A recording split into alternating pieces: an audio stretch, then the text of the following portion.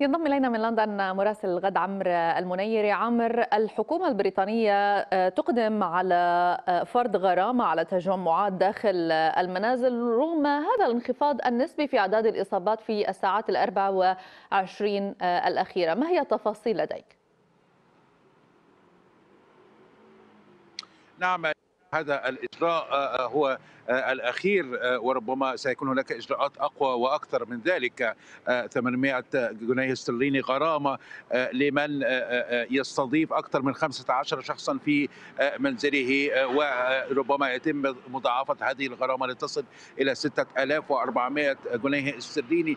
لنعلم تماما ماذا هي الخطورة التي تواجهها بريطانيا بريطانيا في الأيام القليلة الماضية ولا يزال أمامها الكثير لمواجهة هذا الفيروس القاتل. وهذه السلالة التي تنتشر بشكل كبير كالنار في الهشيم.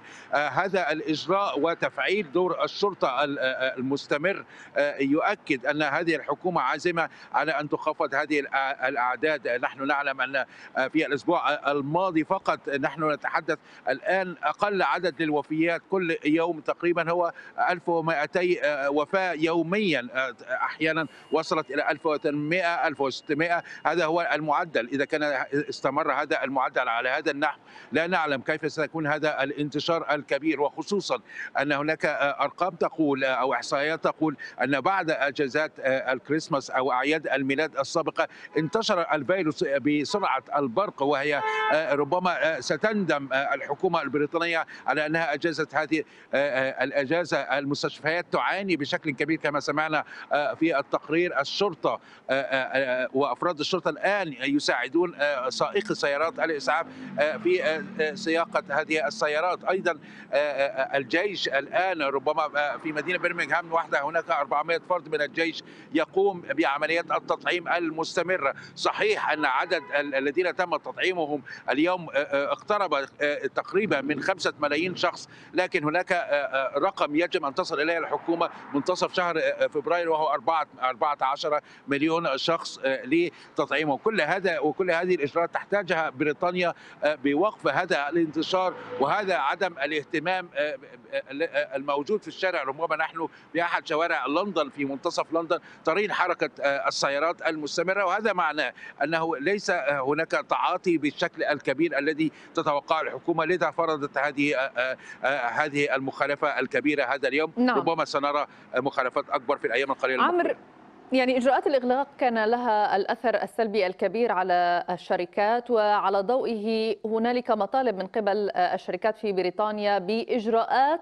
اقتصادية طارئة من قبل الحكومة البريطانية لمساعدتها وإنقاذها في هذا الظرف. ما هي هذه المطالب وما احتمالية أن تلبي الحكومة البريطانية ذلك بتقديم المعونات والمساعدات لهذه الشركات؟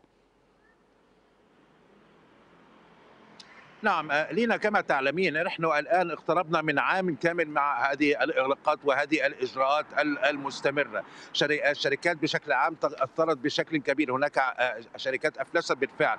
على المستوى الفردي لكل شخص آخر إحصائية تقول أن 9 ملايين شخص اقترضوا في الشهور القليلة الماضية من أجل التعامل مع هذا الإغلاق.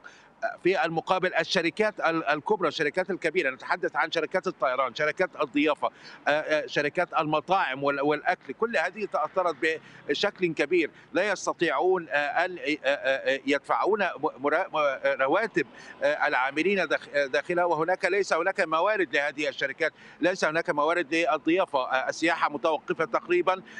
شركات النقل التي كانت تعتمد على النقل البري أو النقل عبر الطائرات أو ما ذلك. توقفت تماما. كل هذا ليس معناه أن بريطانيا عليها أن تستمر في دفع المزيد. ليس أن تقف هذا الدعم حتى شهر أبريل المقبل. تخيلي إن فتحت الشركات مرة أخرى وقام التخفيف في شهر إبريل كيف ليست هذه الشركات لديها أي موارد لدفع رواتب العاملين لديها؟ وهذا يتطلب كما ذكر التقرير منذ قليل أن تمدد هذه الحكومة دفع هذه النوعية. صحيح أنها دفعت بالفعل 300 مليار جنيه استرليني لإعانات ومشاركة الشركات في دفع رواتب الموظفين لكن على الأقل تحتاج المزيد والمزيد لأن هذا بشكل يومي الاقتصاد متراجع تراجع من 3.8%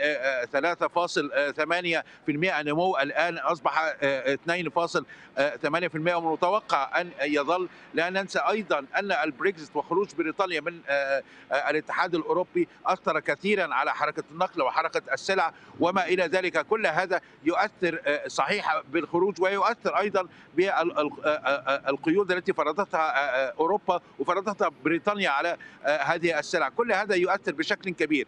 بريطانيا إن لم تسعى وإن لم يستطع وزير الخزانة أن يضع شيئا جديدا ويستمر في هذا ربما سيكون هذا سبب في إقالته في النهاية لأن هناك ضغوط كبيرة على الحكومة أنها يجب أن تتعامل مع الأمر بشكل كبير وخصوصا أن عدد نعم. الوفيات لا يزال مستمر المستشفيات تعاني بشكل كبير وهناك أيضا معاناة من نقص في الأكسجين. كل هذه مصاريف ومصروفات كبيرة على هذه الدولة لكنها لا ننسى أنها دولة عظمى من سادس دول العالم من حيث الترتيب الاقتصادي. أشكرك جزيلا عمرو المنيري مراسل الغد.